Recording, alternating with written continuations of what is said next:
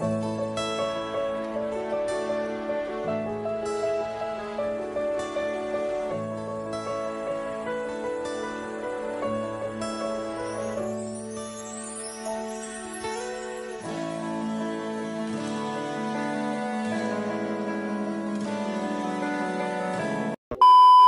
been a month na since my last upload.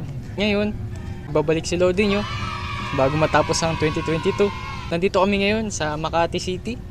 At as you can see, nasa likuran ko ang Bonifacio Global City. Kwento lang muna tayo mga tropa.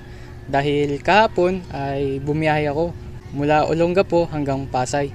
So akala ko ay dadaan kami sa EDSA, sa Cubao. So pinaghandaan ko pa naman yung upuan ko sa bus nasa kanan akong bahagi kasi sa EDSA 'di ba yung ruta namin noon yung maliit pa ako nagbabas kami so ngayon akala ko ay doon siya daladaan ay naku. pinaghandaan ko pa naman yung upuan sa bus kaso wala eh may skyway na palang ginawa mabilis na yung papunta dun sa Pasay terminal ng Victory okay naman Ah, kahit di ko na daanan yung GMA eh, masaya pa rin ako. Nakita ko yung GMA Network Center kahit nasa malayo. At na-videoan ko pa siya.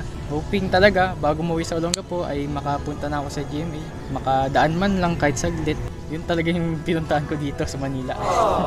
yung nakikita ko lang noon sa Google Map ay baka mapuntahan ko na rin ngayon dito. Ah, Sana mapanood nyo pa ang aking mga videos na paparating ngayong 2023. Wala namang masyadong expected sa akin. So, depende pa rin sa akin kung sisipagin ako gumawa ng video ulit. So, yun lang mga tropa. Ah, thank you for watching. Ah, see you on my next video. Bye!